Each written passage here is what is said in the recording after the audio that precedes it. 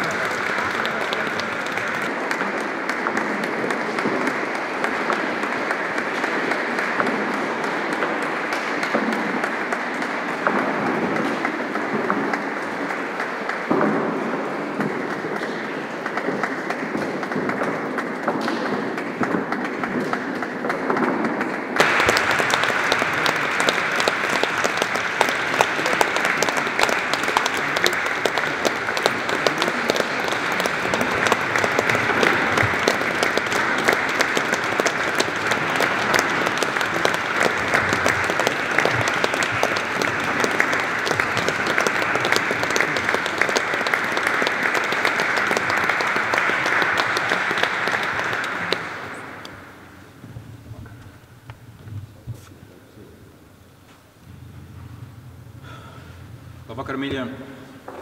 Esmu emeritēts Rīgas augšām celšanās draugs mācītājs, kas izveidojās no politiski represētajiem. Un esmu aicināts jums sacīt dažus vārdus pirms šī koncerta aizvestajiem. Mēs visi zinām vēsturi vismaz dažos tās pamatfaktos. Bet būtiskais ir ne tikai vēstures zināt, daudz svarīgāk ir vēstures saprast, apjēgt un prast izdarīt secinājumus. Un tieši tāpēc šodien būtu svarīgi spēt atbildēt uz trīs jautājumiem. Kas notika, kāpēc notika un ko tas nozīmē mums un joprojām un šodien? Uz pirmo jautājumu, kas notika, nav grūti atbildēt. Vēsturnieki mums zina sacīt, ka šajā dienā, pirms attiecīgā gadu skaita, izveda vai precīzāk sakot, jāsaka, aizdzina verdzībā, jo deportācija tas ir svešvārds. Tā ir aizdzīšana verdzībā, ko Krievija ir darījusi vienmēr. Tā ir barbariska, atpalikusi zeme, kas iekarojot kādu citu zemi, dara šo akciju, proti aizdzena verdzībā šīs zemes iedzīvotājus, jo viņai pašai vienmēr trūks vergu darba spēka. Otrakārt, uz otro jautājumu, kāpēc tas notika, ir ārkārtīgi svarīgi iegūt atbildi un pareizu atbildi. Atcerēsimies, kas notika pirms tam. Pirmā deportācija, kas notika 1941. gadā, bija sots par to, ka mēs, latvieši, bijām izveidojuši paši savu patstāvīgu valsti, neatkarīgi no Krievijas. Tas bija sots par to, ka mēs, latvieši, bijām uzdrīkstējušies gribēt dzīvot neatkarīgi no lielās barbariskās Krievijas un ka mēs spējam izkarot savu brīvību un savu neatkarību. 40. un 41. gadā mēs diemžēl nepretojamies, un par to mums joprojām ir kauns. 44. gadā, kad tika izveidots Latviešu leģions, un tas pierādīja sevi cīņās, pēc šīm cīņām neviens nekad nav spējis sacīt, ka latvieši būtu gļēvuļi. Mēs, latvieši, izdarījām savu mājas darbu, mēs cīnījāmies. Kaut arī tas bija ārkārtīgi nepateicīgos, morāli nelabvēlīgos apstākļos, proti, vācu formās, zem vācu karogiem, zem vācu divīziju komandieriem, un tomēr mēs cīnījāmies par savu brīvību. To pierāda tas fakts, ka pēc vācu kapitulācijas 4000 latviešu leģionāri no 19. divīzijas aizgāja partizāņos un cīnījās vēl līdz 1953. gadam. Lai salauztu šo nacionālo partizānu pretestību, lai sodītu mūs par pretestību, lai sodītu mūs par latviešu leģionu, tad tāpēc bija šī izvešana, aizdzīšana verdzībā 49. gadā. Uz trešo jautājumu, ko tas nozīmē mums šodien, mums jāsaprot, ka nevis vēsture atkārtojās, bet vēsture turpinās. Tā baisā, barbariskā Krievijas vēsture turpinās joprojām. Tas, kas notikās ar mums šodien, mēs ļoti labi zinām, turpinās ar Ukraiņiem. Šobrīd tikai vien aizdzīto verdzībā izvesto uz pārmācīšanu par janičāriem 16,000 ukrāņu bērnu, bērnu vien, neskaitot pieaugušos. Cik ir pieaugušo, tas joprojām ir teikt, neskaidrs pēc statistikas. Jautājums, ko tas nozīmē mums? Pavisam vienkārši tā ir rietuma Eiropas cīņa pret barbarisko Krieviju. Šajā cīņā mums ir jāuzvar, un šajā cīņā mēs uzvarēsim. Kāpēc? Tāpēc, ka tas ir Dieva plāns, divu iemeslu pēc. Pirmkārt, Dieva plāns paredz ļaunuma galīgu iznīcināšanu, un Krievija ir ļaunums. Mēs to ļoti labi zinām. Atceramies, ASV prezidents Ronalds Reigans to precīzi definēja kā ļaunuma impēriju, un viņa joprojām, diemžēl, tāda ir un netaisās būt savādāka. Un otrkārt, Krievija vienmēr ir bijusi un joprojām ir un joprojām grib būt tautu cietums. Viņi joprojām ir pakļāvusi daudzas desmitiem citas tautas, kas nemaz negrib dzīvot zem Krievijas okupācijas režīma.